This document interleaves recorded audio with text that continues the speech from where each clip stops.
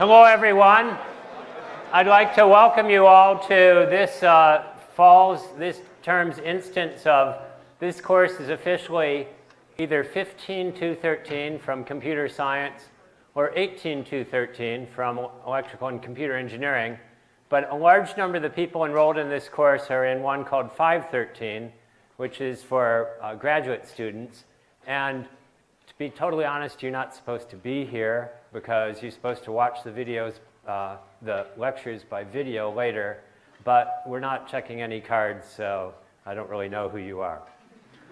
Um, anyways, this course is, uh, as you can see, a very popular course on campus. We have over 700, 700?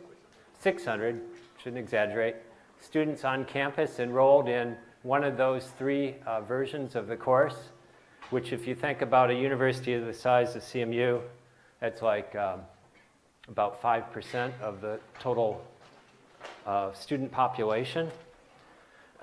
so um, we're very glad to have you here. And this gain is too high. I think we overdid the gain. Try that, that's better. Um, so my name is Randy Bryant. And my co-instructor is Dave O'Hallaron, and those names might be familiar if you have been to the bookstore, because the book was written by us. And we actually wrote this book. Uh, we started 213 as a course in 1998. Uh, and I know that you were children then and all that stuff. But uh, out of response for a new type of course that you'll see today that sort of gives people an in-depth understanding of systems, but more from a high level or programmer's perspective. And we'll talk some about the philosophy of the course later. Uh, so this uh, book, as you saw, just came out its third edition uh, last March, and that's the required text for the course. And there is nothing you can do to avoid buying that book. And it's not because we're greedy. Uh, actually, we take the money we get from royalty for students in this course, or any CMU course, and we donate it to CMU. Uh, so we're not actually making any money out of you buying the book, but it's a simple reality that the new version is different than the old. We expect you to be using the new version. There are no electronic copies. There are no uh, pirated versions, so you basically have to buy the book. But and I don't really apologize for that because I know you or your parents or somebody's paying uh, a lot of money for you to be here, and so the price of the book is really a relatively small amount relative to that. And uh, this course, by the way, is, is not, some courses there's, oh yeah, this book, uh, you might want to look at it once in a while, but actually the course has nothing to do with it. This course, the book and the course are one. They're very tied together. There'll be parts of the book that uh, we don't go into all the details that are in the book sometimes, but we expect you to be able to figure it out. And um, so really the course and the book are tied together and they very much, the, the progress of the course, the topics covered, how it's covered, everything about it is um, uh, consistent with the book. And we wrote the book because of the course. Think of them as course notes.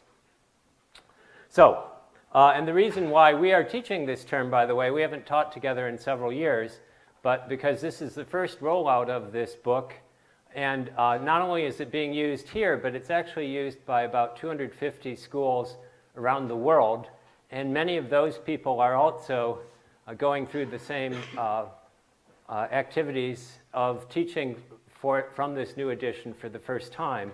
And so we wanted to make sure all the material for the course was sort of put in order and things because other universities and uh, other colleges use this material, uh, the, the, supporting material we've developed.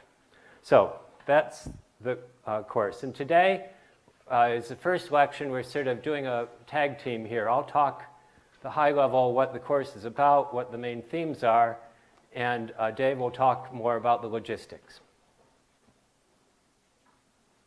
So uh, we refer, the, the saying we have, uh, when uh, um, the very first time I typed the number of this course into a, a text editor, I realized I've typed those five digits many times in my career because it's the zip code of CMU, 15213. So that's where we come up with the saying.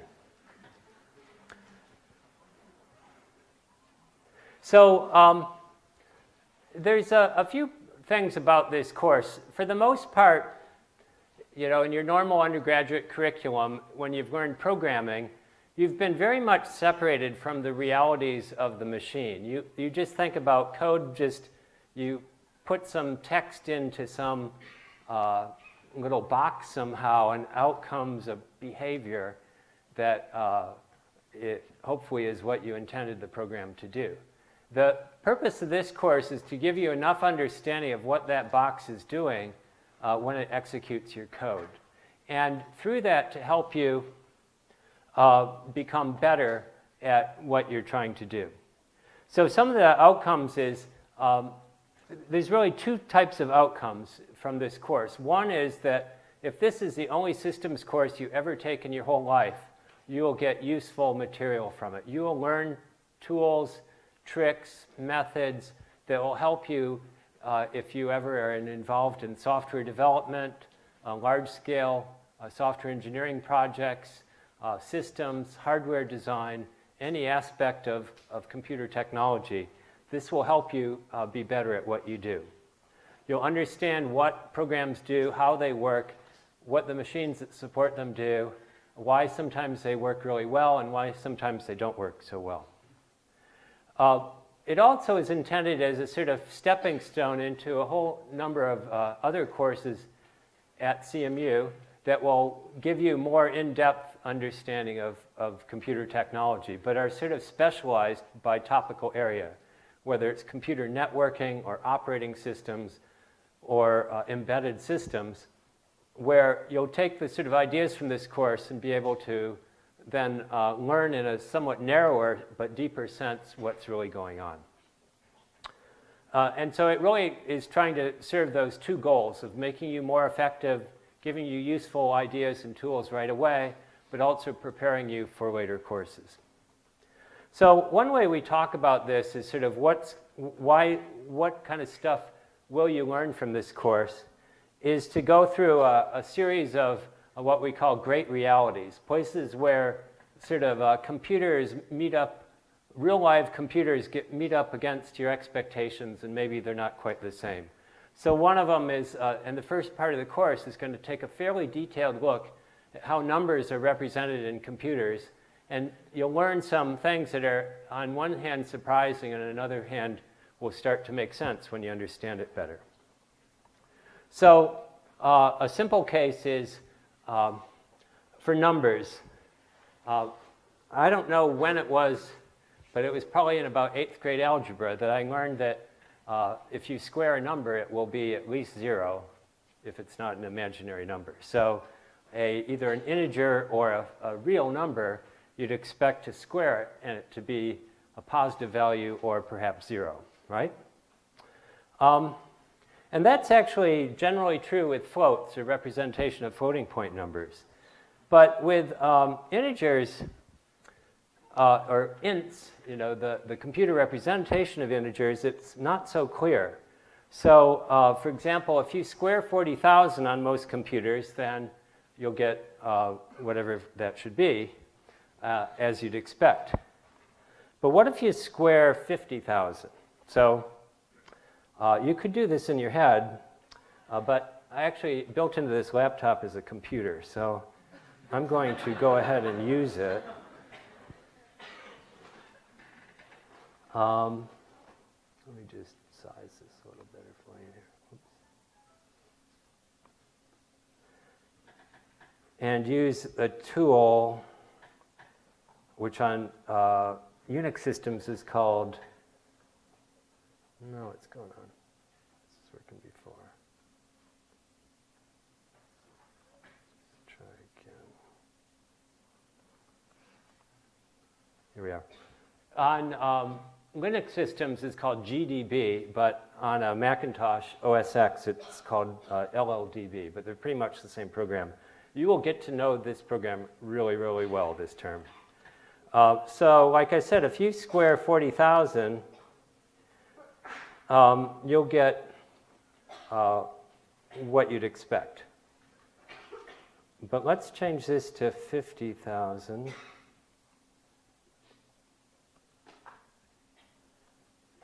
And you get a, a, very peculiar number that doesn't look anything like you'd expect 50,000 squared to be. And in fact, it's negative. And uh, so that might just seem like, well, there must be a mistake or something. No, that's, that's just the way it is because um, this computer is expecting numbers to be represented as 32-bit values. And the bit pattern that you get when you uh, do this multiplication happens to be the representation of a negative number. So that's uh, an example of where your normal expectations about integer arithmetic may or may not hold. Uh, on the other hand, there are some places um,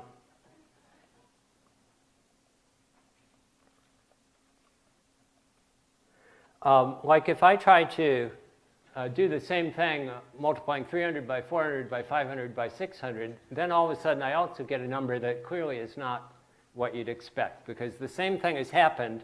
I've gotten an overflow. It happens that it's overflowed to a value that's positive, not negative, but it still is obviously not the integer product of those four numbers. Uh, on the other hand, one thing you'll find is uh, even though this arithmetic is not uh, normal uh, sort of integer arithmetic, uh, it actually has some well-behaved properties. So for example, if you look at um, uh, what I've done is I just moved the 300 around from the beginning of the product to the end of the product. And so now if you think about how associativity and commutativity works, I'm basically multiplying these four numbers in a different order. But what you see is you get the same funny looking result uh, no matter how you do it. So what you can say from this is integer arithmetic is commutative and associative. So it obeys some of the conventional mathematical properties. It just isn't what you'd expect it to be. It's not um, a um, uh, normal sort of mathematical integer arithmetic. So um, the cartoon here shows an example that's a similar uh, possibility. We get to it.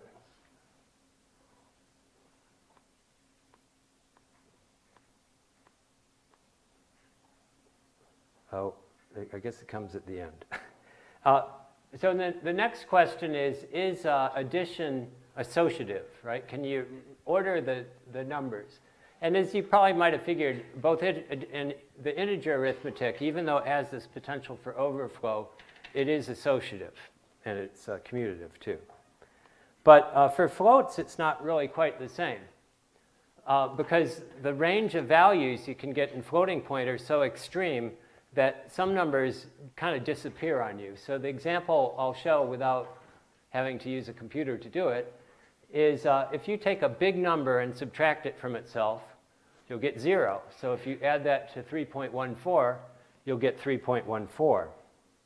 But if you take uh, those two numbers and you reorder the, uh, how you combine them so that that 3.14 compared to minus 10 to the 20th is so insignificant that that result gets turned into uh, minus 10 to the 20th, and you add that to one, 10 to the 20th, and you end up with 0.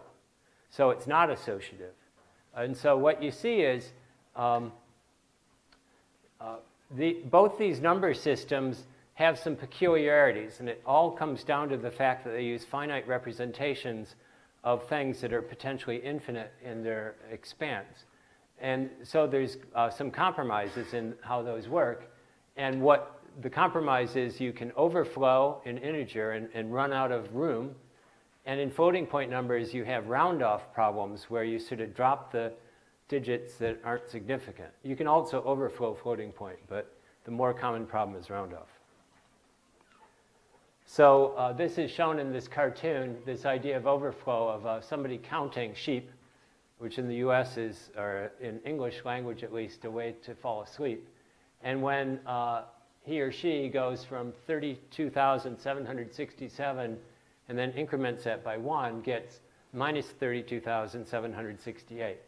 And we'll see exactly why that happens, but basically the numbers are going up to the largest value it can represent, and then when it goes one more, it becomes a negative number. So uh, these are really important uh, things to understand. I mean, 90% of the time, maybe you can just get by uh, writing programs and not worrying about whether your numbers are going to exceed their possible range. But there's sometimes when this could be really important. If you're like, uh, you know, controlling a rocket, you really don't want the positive thrust to become negative or something like that. Uh, so you can see you, there, this could be an important consideration. Similarly, there's uh, well-known instances of security vulnerabilities where somebody wrote code that sort of expected a positive number in some place and a clever person figured out if I supply a negative number, I can fool the system and get it to do bad things. So these are the kind of uh, corner cases that you need to understand better if you're either working in programs where it's really, really important that it work correctly, or you're really worried about security vulnerabilities. Uh, anytime you have possible for corner cases, you have to understand these nuances better. Uh, similarly, for floating point, if you're going to use floating point for serious computation, whether it's scientific research or for designing bridges or um, nuclear power plants or something, you better understand what the characteristics are. So that's our first one, and we'll spend a couple of weeks talking about uh, numbers and number representations and their properties here. Uh, the second is uh, we're going to spend a lot of time in this course learning about machine level programming, meaning what the instructions are that actually get executed by the computer. And that can be described in assembly language, which is a text version of it, or an object code, which is the actual bit level binary encoding of instructions. And we'll learn a fair bit about that and spend a fair amount of time seeing how code that you write in uh, C uh, gets turned into machine code and how that gets executed on the machine. Uh, one thing I'll, I'll say is that historically, courses like this would teach assembly code by having you write uh, programs in assembly that uh, do uh, various things, not usually very interesting because it's a lot of work to write assembly program. This course is much more about taking the assembly code that's been generated by a compiler, a C compiler, and looking at it and understanding it. And that's a different set of skills than you need to write it on your own. Uh, and in particular, we're going to look at the language of, of Intel processors. The most recent versions of them are called x86-64, uh, the 64-bit version of their instruction set. And one thing that's new in this course compared to previous ones, we used to teach 32-bit stuff. This course is uh, 64 bits all the time. another one that we'll talk about a fair amount and that is really fairly visible to programmers, surprisingly visible, is uh, aspects of the memory system. So modern computers have a very complex layered memory system uh, to try and give you high performance and high capacity at the same time. And uh, there's some results of that system that can uh, mean that if you program, write a program well, it might work really well. And if you don't, it could run very poorly because it's not making use of this hierarchical memory system. So, um, and also, there's a lot of bugs that show up, especially in C programs, uh, that have to do with memory referencing errors. And so understanding what those errors are, what their manifestation is, how to prevent them is a big part of the course. So for example, if I define uh, a struct that contains uh, two integer uh, values a in an array and a double precision floating point number d, and if I, um, uh, this function fun, you'll see what it does is it's given an argument i, and it sets the ith element of A to some uh, strange looking value. So uh, as you know, I should really only be either 0 or 1 um, with this code because that's the range of possible values of this array A. But um, we can try other things too. So in particular, if you run it on either 1 or 2, you'll get what you'd expect, that you assigned 3.14 to element D of this structure, and uh, when you read it back, you get the same thing. And in fact, uh, but now if I set A of 2 to uh, this number, all of a sudden you'll see that my floating point number, which seems to have nothing to do with A, has changed. And if I uh, do that same thing with uh, i equal to 3, you'll see I get a number that's closer to 2 than to 3.14. And if I keep going, uh, well, nothing much happens until I uh, hit um, uh, 6, and then the program crashes. So something interesting is going on here, at least uh, something quirky is going on. And the reason is, again, it has to do with how data is laid out in memory and how it's accessed. And one of the features of C and C++ is it doesn't do any bounds checking on arrays. It will happily let you reference uh, element number 5 million of a two-element array and not complain, uh, but the operating system might complain, as it did here. And it, um, in this particular uh, structure, and we'll see more about how structures are implemented and laid out, but basically the two, if each of these uh, blocks in this vertical chain represents four bytes. And so the two elements of A each are four bytes. Uh, D is eight bytes. And then there's some other uh, stuff in the other um, uh, beyond that that's not actually in the struct itself. So you'll see that if I uh, reference either A of 0 or A of 1, then I will just modify that array as designed. But when I'm calling fun of 2 or fun of 3, what I'm actually doing is altering the, the bytes that encode this uh, number d. And that's why you saw the sort of funny numbers come out of it. And as I go up, at some point when I hit 6, I'm modifying some state of the program that it's using to kind of keep things organized, most likely how it uh, keeps track of, of allocated memory and that's causing the program to uh, crash. So this is a pretty good demonstration of uh, why C programming can drive you crazy. Uh, because as you saw, it doesn't do bounds checking. So it's easy to write code that does invalid stuff. Um, it's also often the case that you'll cause some problem, and it has this sort of action at distance feature that you can modify some think you're modifying some data structure, and what you're doing because of the way things are organized in memory, you're changing something totally unrelated somewhere else in the program. I mean, imagine they're not just one apart, but they're 10,000 apart. And things might just run fine for hours, days, or weeks, and then all of a sudden, at some point, that data that got corrupted a long time ago gets accessed, and something goes wrong. So this can be some of the worst nightmare, debugging nightmares that exist on Earth, is to try and figure out memory referencing errors. Um, so uh, this is actually one argument not to program in C or C++, uh, and it's a valid argument, I'll admit. But also as a, a person who's writing a lot of C programming, you just get more experienced and you know at times that you should actually put bounds checking in your own code. And there's also tools available that will help you sort of uh, uh, bulletproof your code so that it will detect these kind of problems. So it's not like you have to change languages, but it, it is a particular feature of these languages. And so understanding sort of the machine level representation of data structures and how they work is very, really makes a huge difference in your ability to uh, deal with these kind of vulnerabilities and things. Vulnerabilities, by the way, also from a security perspective. Um, the, the fourth sort of theme we'll cover in the course is uh, getting performance out of programs. Uh, other parts of the curriculum in CS do much more emphasis on getting the right algorithm or the right data structure.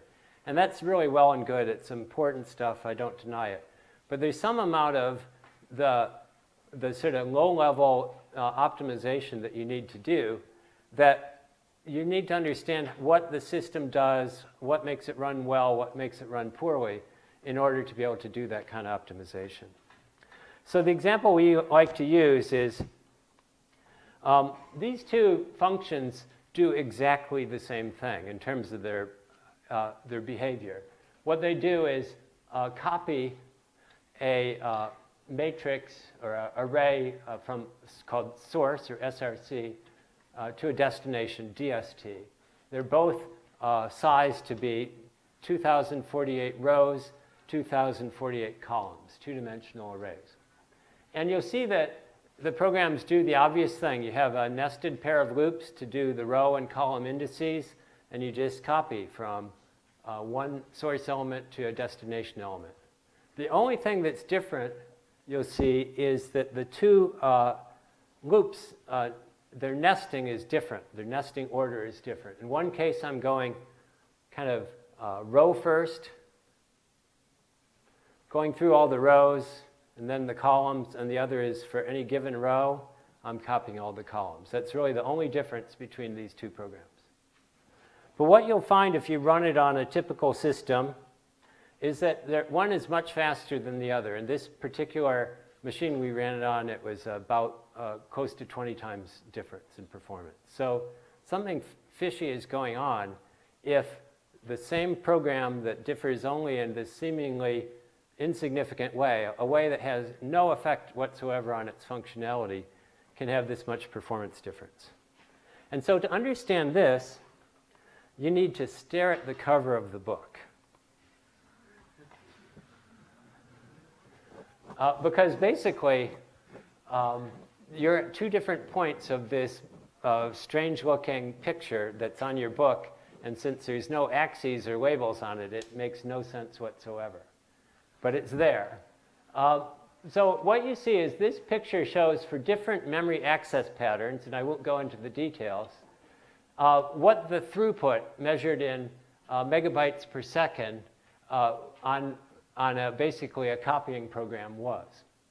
And without going into the details, what you'll see is these two functions sort of sit at different points in this memory access pattern.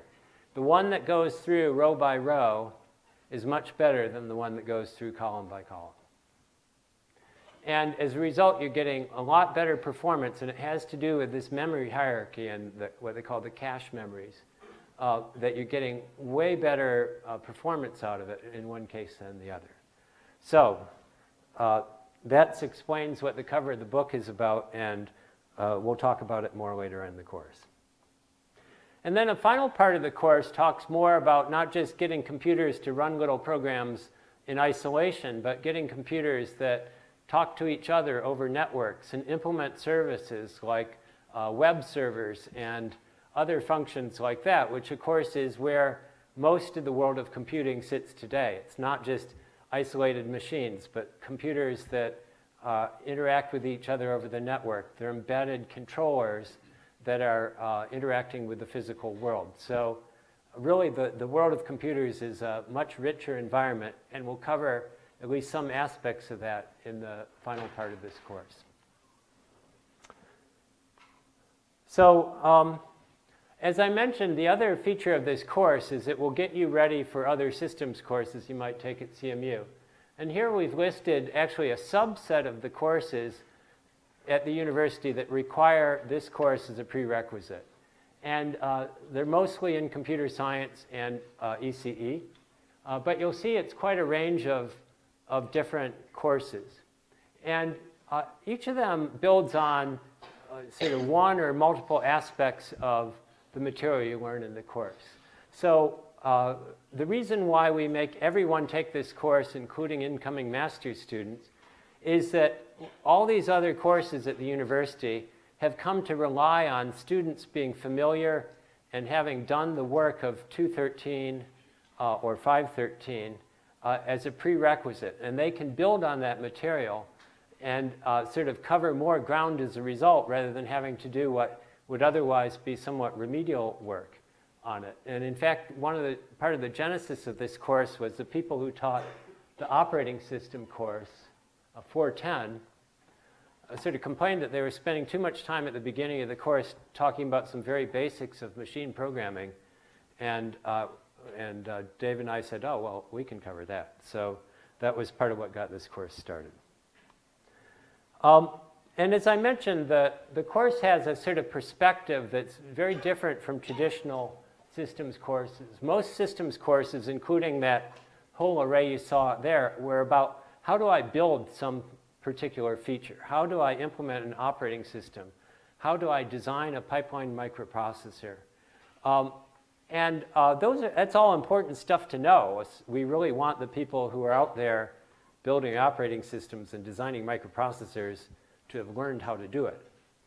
Uh, on the other hand, as a way to sort of get new into this and get the introduction and get the experience, we find it more useful to take what we call a programmer's perspective, meaning um, understanding uh, what you as a person who sits in front of a computer screen and types code uh, need to know about that machine you're typing code for in order to be effective at doing it, as opposed to somebody who's someday going to be designing the, the actual machine itself.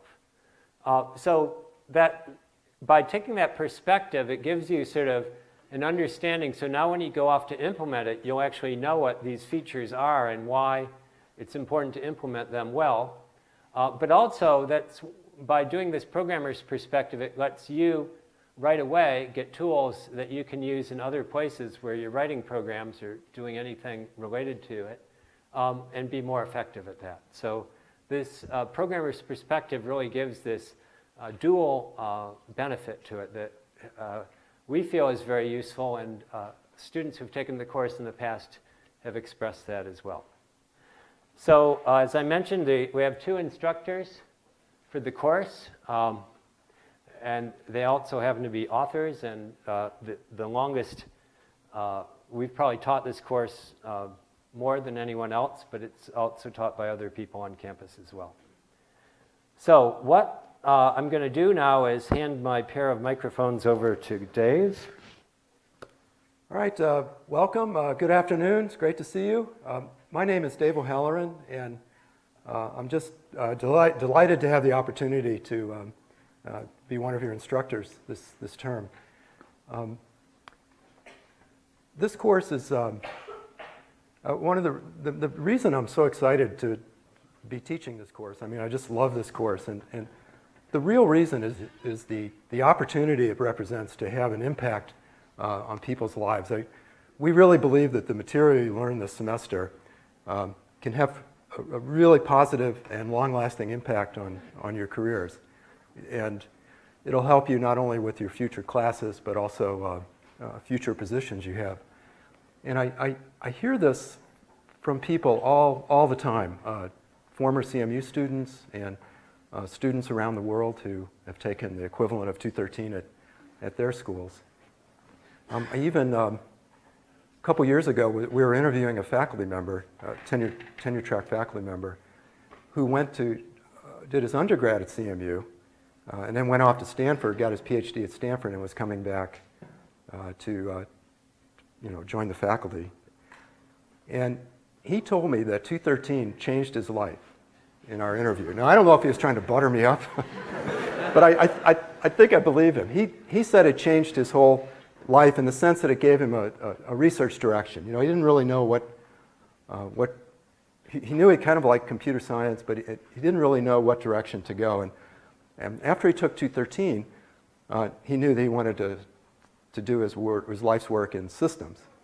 Now, it was just remarkable, right, to come back and to, we ended up actually hiring him. And he, he told me that everybody in his lab at Stanford, all of the grad students, had a copy of the book on their desk. From, and they were from all over, you know, all, all different schools. And so, I mean, I even, I was in a bookstore in Beijing uh, a couple years ago, right outside the, PKU campus. And uh, I was up on the fifth floor trying to see if I could find a copy of the textbook. and I, I found the uh, uh, English version in one aisle. And then a couple aisles over, I found the Chinese version. I was, I was, I was going through the Chinese version, and this guy taps me on my shoulder. And I turn around, he says, Oh man, that, that book is really good. You should, the English version is two aisles over. and I mean, it just blew me away to be, to be in the head of someone like halfway around the world. It was just, a, it was just one of those moments. And so I'm, uh, I'm not trying to boast. I'm just trying, what I want, I want to give you the sense of what, a, what an opportunity this course represents for, for Randy and I to, uh, to have what we hope will be a, a, a really positive impact on, on your lives. Um, so let me, um, we have kind of a, uh, uh, um, kind of a funny organization for the course to, in response to the, just the, the tremendous demand we have, we, we found that we have for it. So there's, there's actually three course numbers, um, but it's all the same course. Okay, it's the identical course. Um, 513, 15 513 is for our master students. Um, and the 513, uh, 513 doesn't have a formal lecture, so there's no seats assigned to it.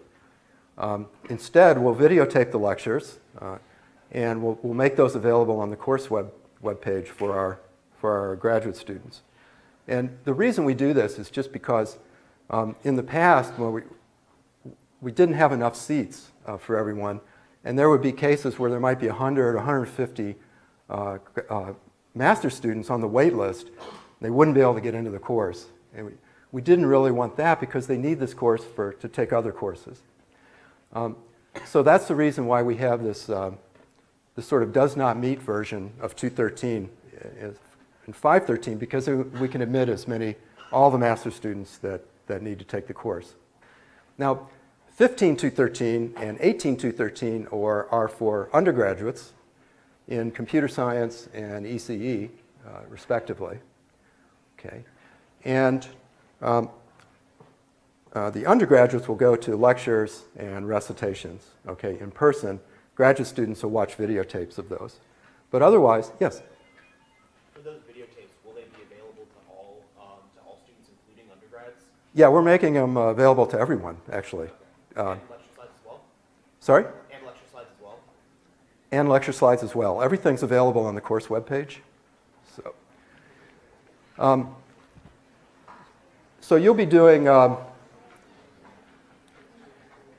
um, the, all of students will have equal access to office hours, um, the staff mailing list, and everybody does the same labs and uh, the same exams. Okay, so it's just a question it's just a matter of whether you go to lecture in person or if you watch it on video. In fact, if you, you know, since it's available to everybody, if you miss lecture, it'll be there on the web page and you can catch up, which I know you'll probably do. Actually, I know most of you will never miss class, right? But the few of you who do, uh, you'll be able to watch the video. Okay. All right, this is the one part, I, this is the part I, I hate. I love teaching, but this is, this is the one part teaching that none of us really like, but we have to talk about it, and that's academic integrity. If you're new on campus, um, coming from an international school, if you're an international student, uh, new on campus, um, there might be different notions of academic integrity and different notions of cheating at your undergraduate school your old school. So if you're new on campus, pay very close attention to this because at Carnegie Mellon, we take academic integrity uh, very seriously. Okay, it's not a wink, wink, nod, nod. Um, we're very serious about it, um, and we, we, we, want you, we want everybody doing their own work to preserve the integrity of the courses. So, what exactly is cheating? So if you share code with anybody, either copying, um, retyping, if, looking at somebody's code, like if you look at somebody's code on the screen, or if you give somebody a file, all of those, all of those uh, uh, examples of sharing are cheating. If, um, if you describe your code like line by line to somebody, that's cheating. Um, if you coach somebody um, line by line, uh, that's cheating. Okay. Um, searching the web for solutions, just the act of searching is cheating. Right? And this is, a, this is a real problem for us in particular because the, course is, is offered all around the world. And uh, people either maliciously or, or sometimes just they're proud of their work and they post it you know, for employers on like public GitHub sites. So it's, it might be tempting to, uh, to search for these solutions. But even the act of searching is cheating. And definitely if you find some, a solution and, and use it, that's cheating. Even if you modify it afterwards. And I just want you to remember, I, can, I know how to use Google just as well as anybody else, right? So I, I can search for solutions too. Um, so um, copying code, um, you know, you might be tempted, you might be tempted to copy code from someone who took the class, uh, you know, in a previous semester. Uh, don't do it. That's that's cheating too. Now, what's not cheating? So you can you can help each other use tools. Um, you know, if somebody's having trouble using GDB, or you know, they have questions about how to run, um, uh, use a text editor. That stuff's all great. You help each other out um, using the tools, how to log into the Shark machines, all of that kind of stuff. And you can help, you can discuss sort of high level design issues, and that's probably a good idea. Yes? Yeah, yes. Did you take it a previous semester? Yes, I dropped it for some reason, but I just Okay. Okay, yeah, the question was if you took it in a previous semester, can you use your, your work? And, and the answer is yes. Um, so it, you can also talk to each other about high level you know, design issues. You know, how are you, are you using an explicit list? Are you, are you using a uh, segregated list for your Malloc lab? Okay, that kind of stuff is, is, is okay. Okay, high level, okay. Low level, not okay. And basically, what we want you to write your own code. This is not, you know, it's kind of a cut and paste world these days, right? You look stuff up on Google, Stack Overflow, you cut and paste it. But that's not, that's not the way we do it uh, here. We want you to do the work yourself. We want you to enjoy the experience of figuring things out and learning how to, to solve problems. Now, the consequences for cheating um, there's a single sanction. Um, if, if you're caught cheating, uh, you'll, be, you'll be expelled from the course with an R. Uh, there's no exceptions. Uh, if you drop the course, we'll just reinstate you and then flunk you. it's really, uh, it's a very serious, very serious um, penalty because we just take it, we take it so seriously and it's, uh, um, and it's just, it's just something we don't want you to do. Um, we have amazing tools to detect code plagiarism.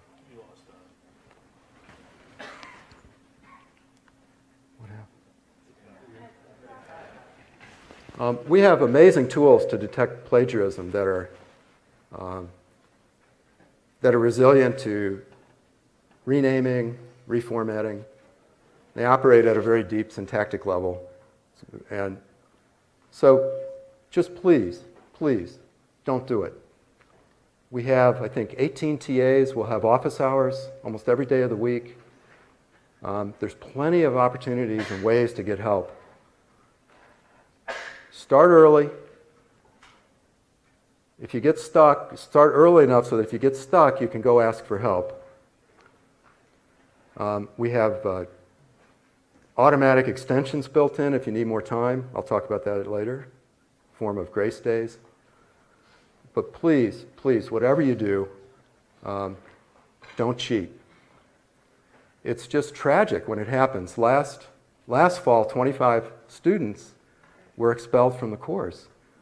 Um, some were expelled from the university because it was a second offense. Many were sent home.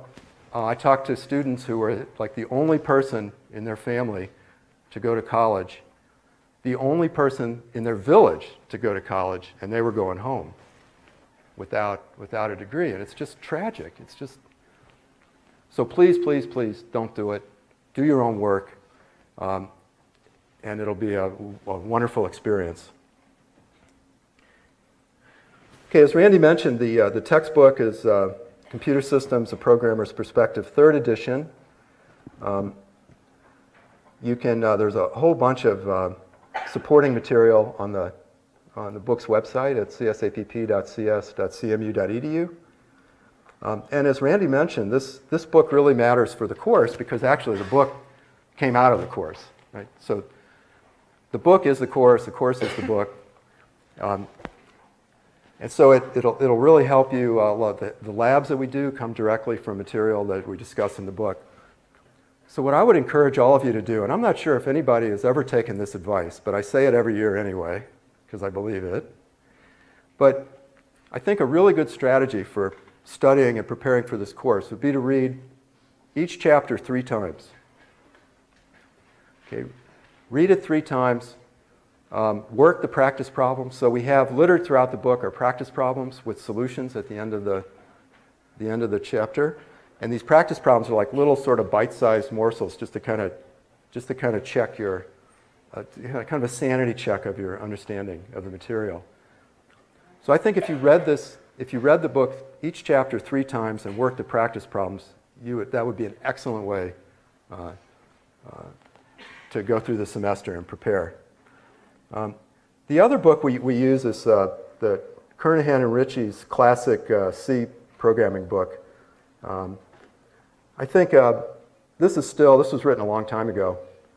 Uh, it's still the best book around, I think, for C. It's a, it's a beautiful uh, example of technical writing. It, it, was one of the inspirations I used uh, when I was writing the book. You know, I, I tried to find that same clarity and precision that they, that they, they, that Kernighan and Ritchie um, um, have in their book. So this is a this is a really good book. I mean, this is the kind of book. It's it's a reference, but it's a kind of book you can just read from beginning to end, and get a really good understanding of of C.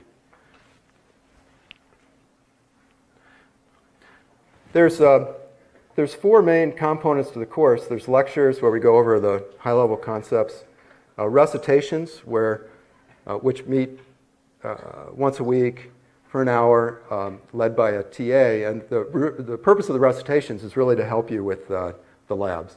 Right? So it's very practical and hands-on. Um, there's, there, there's seven of those labs, and these are really the, the heart and soul of the, the course. This is, where, this is where all the real learning comes in, I think, when you actually have to do this stuff. And that's why we take the cheating part so seriously, because if you do these labs, you're going to learn an incredible amount of really cool stuff. If you don't do them, you won't learn anything. Right.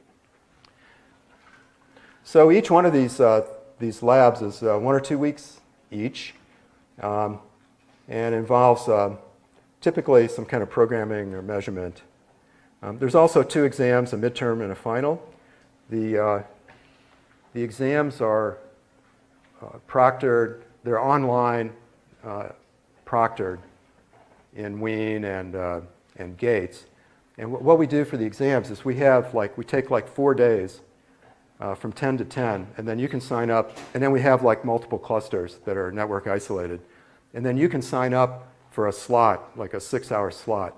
And the, the, the midterm is like nominally like an hour, 80 minute exam, right? It's the same exam we, used, we gave when, we when we used to have people sitting uh, in person. So it's nominally like 80 minutes, but we give you like a five or six hour window to do it. Okay, so there's, um, so you can sign up anytime, any day that there's a slot. Okay, so there's flexibility, so you can kind of tailor it to your, your schedule. Uh, and we, I think we've also removed all the time pressure, right? So which is, you can, you can go back, you can check your work, you can, you can just kind of relax and not, not, not be worried about uh, how quickly you do it. Um,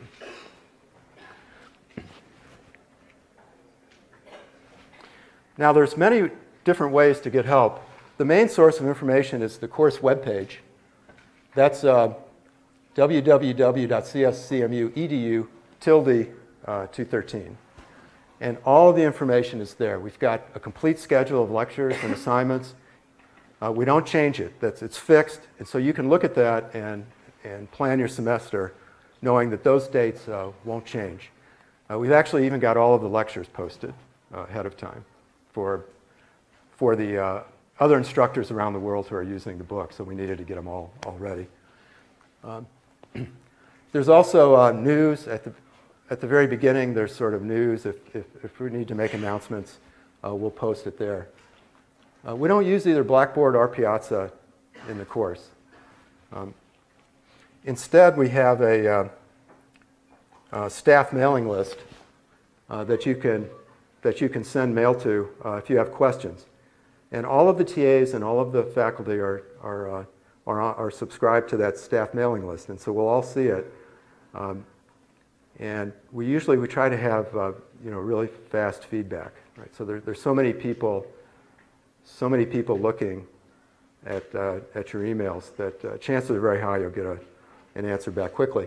The the disadvantage of having this the, advantage of this mailing list is that it allows us to control the message uh, and control what we're if, what feedback we're giving back to you. Um, the disadvantage is that we often get the same question over and over again. And so for that, we've, we've established a FAQ. If we find we're getting same questions over and over, we've, we've established a FAQ on the, on the course webpage um, for sort of organized by labs. Okay, so you can, um, you can see the, the answers to frequently asked questions uh, on, the, on there. Um, we have uh, office hours. I think we're still trying. To, we, we, we're still trying to meet uh, with the staff and figure out the exact office hours. But what I'm, what we're thinking now is that we'll have office hours uh, six days a week. Okay, every day but Saturday. Um, the, they will be at the same time and same place every day. So from 5:45 um, to uh, 8:30 um, in Wean, in a, the Wean 5207 cluster, uh, we'll have 213 TAs there to, to help a, to answer your questions. Okay. So you don't have to make appointments. I mean, you can make an appointment to see any staff member, of course. Um, but you, don't, you, you know that at the same time, same place every day, there's somebody you can go to for help. Right?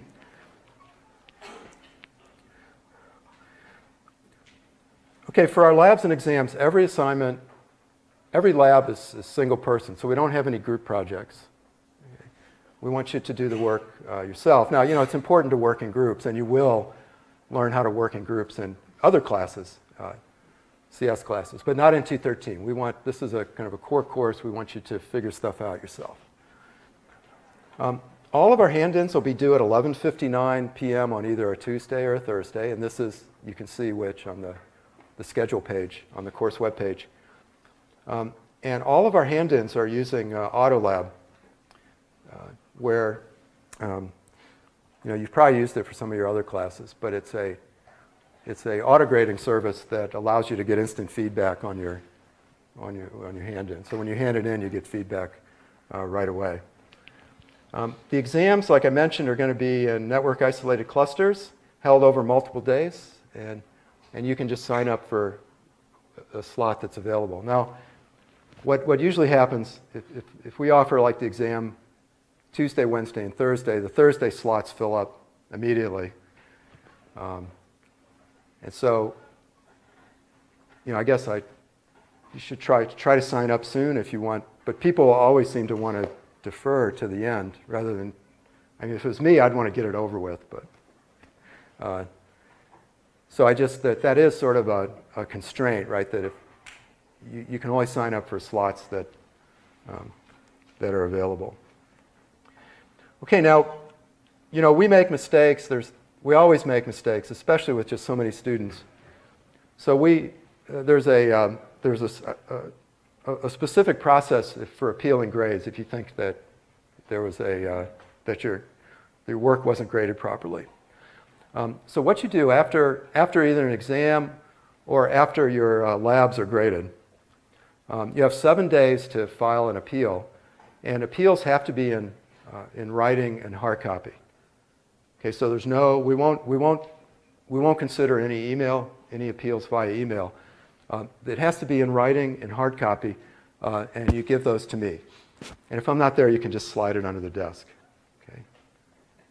And what the reason we do it that way is it allows us to treat um, everybody fairly. So we get all the appeals together at once, and then we can we can we can treat everybody the same way rather than just sort of doing them one at a time like that.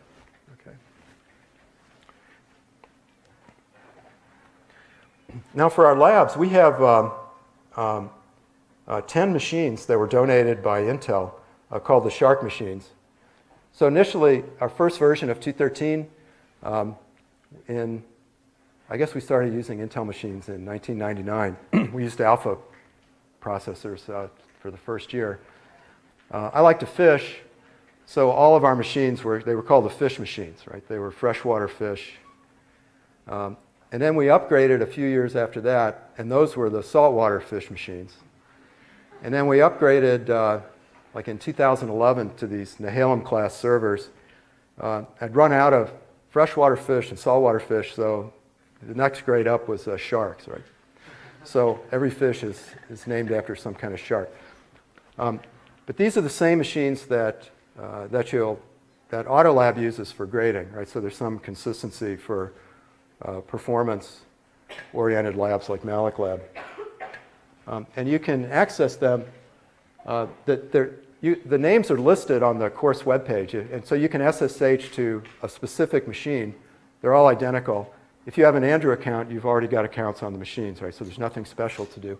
Or you can just uh, SSH to shark.ics, and it'll just randomly put you on, on, on one of the Shark machines. Okay, if, uh, if you have any trouble logging in, just send, send mail to the, the staff mailing list. Okay, we know that during the semester things come up. Grandparents die, especially near the, near the final. Uh,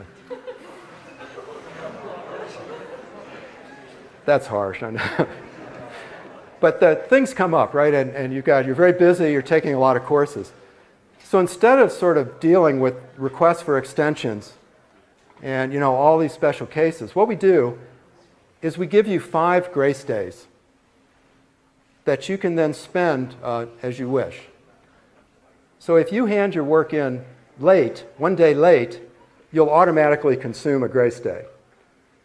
Okay, we don't allow you to sort of allocate the grace days. You, you, you spend one of your grace days by handing in late. So if you have a grace day left and you hand in late, you'll spend that grace day, but you won't be penalized for the late hand in. And so we have five grace days uh, over the entire semester uh, and um, a maximum of two grace days for the assignments. Now, we're going to set up, since the first three assignments are kind of not as programming intensive uh, and don't take as much time, um, we're not going to allow any grace days for those because, oh, one grace day, one, sorry, one grace day. And then for the, the latter four labs, which are much more intense, we're going to allow you two, a max of two grace days. And the reason we're doing this is because um, we don't want you to burn your grace. These grace days are valuable. They're critical, especially later in the semester when every, you're really, really busy. Um, so we, we don't want you to burn up your grace days early in the semester. And this happens every semester. And, it, and then when Malloc Lab comes up, there's no grace days left. And it's really, it's really sad to see that. Um, and so we're going to limit you to one for those first three um, just to help you save you from yourself. Now, um, the, the, the nominal uh, late penalty, if you don't have a grace day, is 15% uh, per day. Um, and we don't allow any hand-ins three days after the due date at all. So that auto lab shuts off, and then, and then that's it. Now, if there's some kind of catastrophic event, you know, then you know, please contact us uh, for, a, for an extension. Right? So we're not, you know, we try to be reasonable, but most of the most of the most of the reasons that for requesting extensions you can handle yourself uh, using your grace days. And just, uh, I mean, this is uh, this is advice I give every semester too, but I, um, but it's it's people often don't don't pay attention, but are just they're unable to. But but really, you, for every one of these assignments, you want to start early. Um, and the reason is you need to give yourself time to, to go seek help if you get stuck. Because the nature of these very programming intensive assignments like we have in 213 is that you're going to get stuck. And, and often it's very hard to, to bound the time you spend on, on some of these assignments. You know, it's not like problem sets where you can kind of predict, you know, this will take, eh, this will take me like three hours to do these problem sets. For a lot of the 213 assignments, it's very difficult to, to sort of manage your time and bound your time. So for that reason, you really want to start early to, to give yourself a chance uh, to get help when you get stuck. Um, now, in the lecture hall, um, uh, you're permitted to have your laptops, um, um, um but we ask you not to uh, uh, send email or instant messaging or cell phone texting or anything like that. If you're here, we want you to, to be attentive and engaged. The, uh, your presence in, in, lectures and recitations is voluntary, so we, we, don't, take, uh, we don't take roll at either of those. Uh, we encourage you to come, but it's not required. Um, and no recordings of any kind, uh, except uh, this one.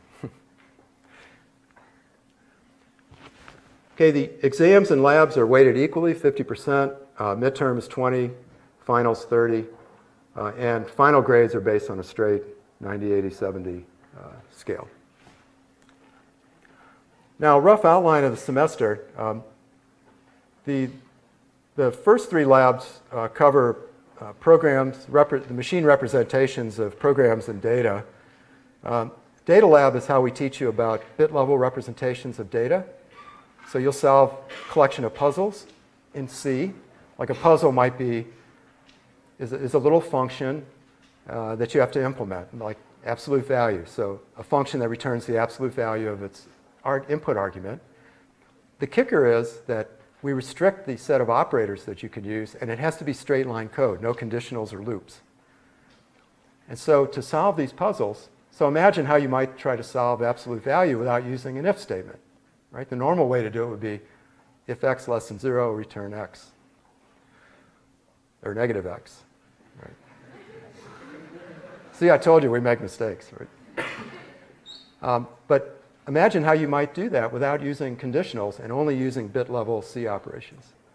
Right, so this is how, this is how, uh, this is our way of teaching you um, how, how data is, is really represented in the machine. Now the bomb lab, which you probably heard at, this is, this is uh, kind of famous all over the world now and, uh, and, and at CMU. Uh, the bomb lab is the way we teach you uh, how to read and understand assembly language. And uh, a, a, bomb, just briefly, a, a, a, bomb is a, is a C program that consists of a collection of uh, six phases. And each phase wants you to type something in at the keyboard. If you type in the, what it wants you to type, what it expects you to type, um, then you've defused that phase and it goes to the next phase. Then you have to type what that phase wants. And if you defuse all the phases, then you've defused the bomb. However, if you type in the wrong thing, then the bomb explodes by printing boom, um, and you have to try it again. And the kicker is, in either case, when if you explode the bomb uh, or defuse a, uh, a phase, uh, that information gets sent to AutoLab. If you and we use the diffusing string that, that your bomb sends us, uh, and we, we check it out on a copy of your bomb that we keep on, on the server. Well, that's another thing. Every, everybody gets a different bomb, slightly different bomb. So we check. So uh, when you diffuse, uh, when you diffuse a phase, uh, Autolab takes a string that it that your bomb sends us and then compares against the local copy of your bomb. If you explode uh, phase, you lose half a point.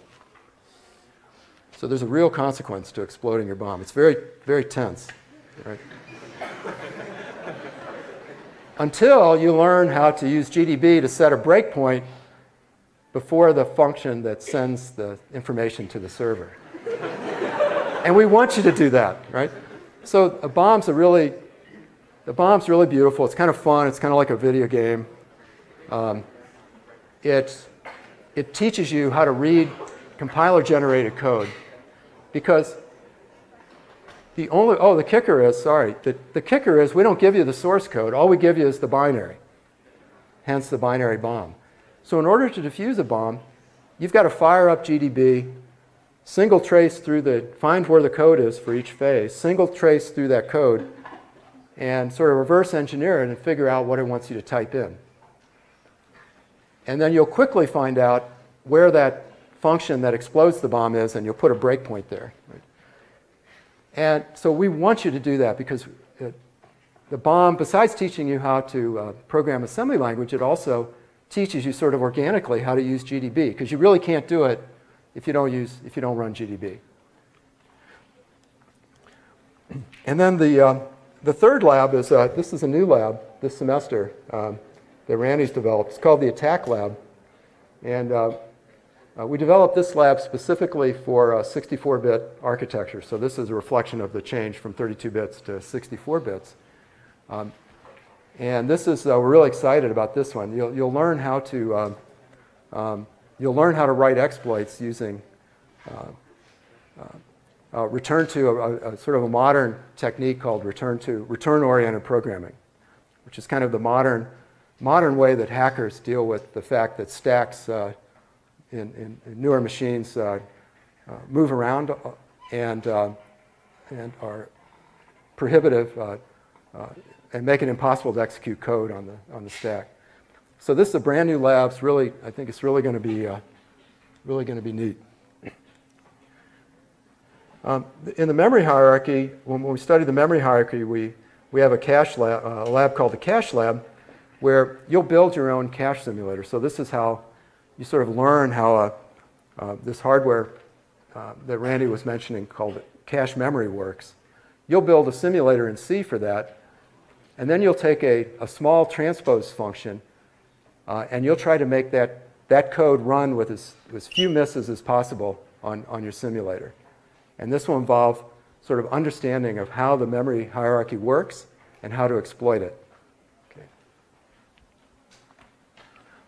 Um, the part of the course where you, we sort of transition from hardware to interacting with the, the system software, the, the operating system, um, there's sort of a, a concept um, that we call exceptional control flow um, that exists in all parts of the system, and it sort of represents that intellectual transition uh, from hardware to software. So um, this is how uh, this was sort of a, a, key idea that allowed us to kind of smoothly move from, from hardware to software uh, in, in some intellectually consistent way. And so the, the ideas that you cover in exceptional control flow like low, hard, low level hardware interrupts and exceptions. And, and, and then at the higher level, sort of involving hardware and operating system software, is the idea of, an operate, of a process context switch. Okay, so this is, this is where you start to learn uh, what processes are and how to, how to ask the kernel to create and uh, manage processes for you. At the next higher level are a, a, software form of exceptional control flow called a signal. So this exists solely in the Linux kernel. And then, and then even at a, a higher level, at, there's an application C language version of exceptional control flow uh, called set jump and long jump. So this, this notion of exceptional control flow kind of exists in all parts of the system, and we cover it all at once. Um, and the, the lab that we use um, uh, to sort of exercise all these ideas is uh, called the Shell Lab. And in the Shell Lab, you'll write your own Linux shell, which is really cool. So that's the program, the command line program that you interact with whenever you log into a, a Linux box. You're going to write your own. And I don't know, for me, that was really exciting when I could like write something that looked like a real shell. It was, it was pretty neat. Um, uh, the next area is, uh, we'll study is called virtual memory.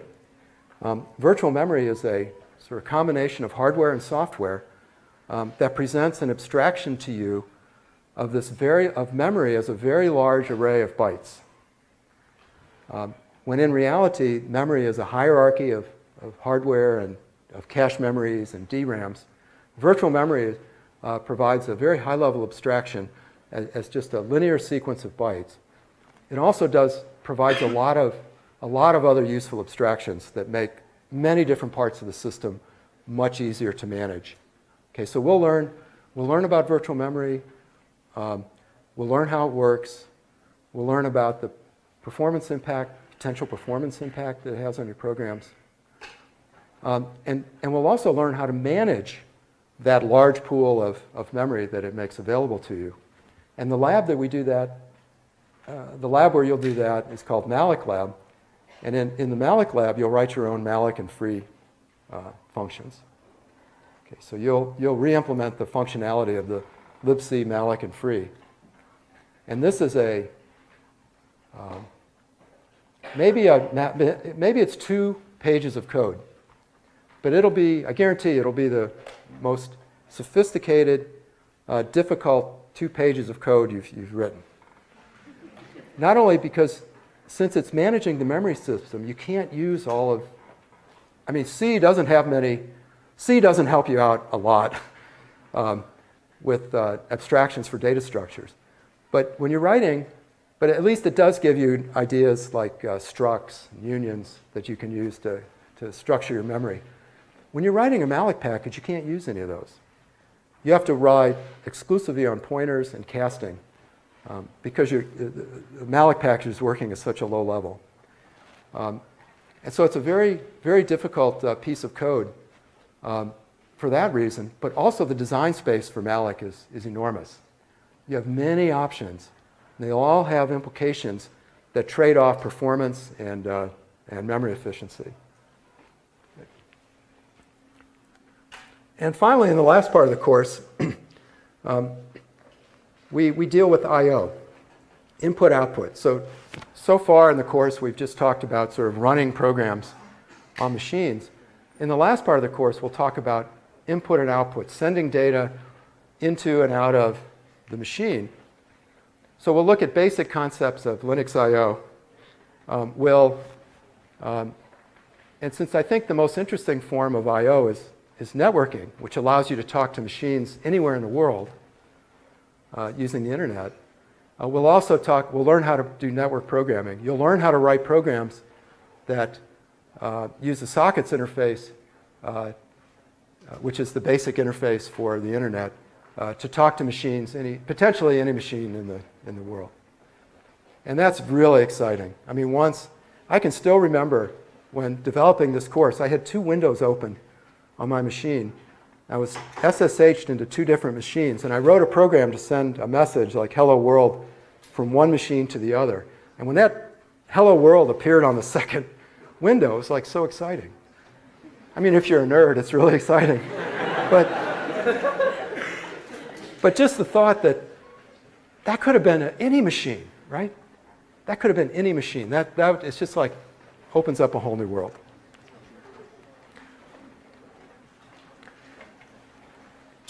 Okay, all of our, uh, all of our hand-ins are using a system called Autolab, which was developed here. Um, and you can access it. If you, if you were on the roster as of this morning, if you go to the Autolab link, then you'll see this course listed on your page. Uh, if you're not enrolled, uh, you won't have an Autolab account. Um, and you have to be enrolled to get an Autolab account. So if, you if you want to try to wait it out and wait for people to drop, I'll make the first couple of, at least the first assignment due available from the course webpage. So you can work on it without actually handing into Autolab. But at least you can keep going. Um, okay, if you were enrolled, actually I didn't update this, but I, I updated the Autolab accounts uh, today.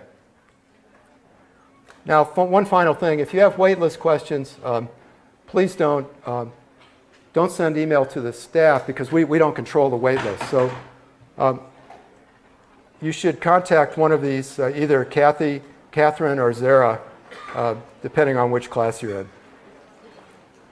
Okay, so that's it. Welcome again. Looking forward to a great semester, and we'll see you on Thursday.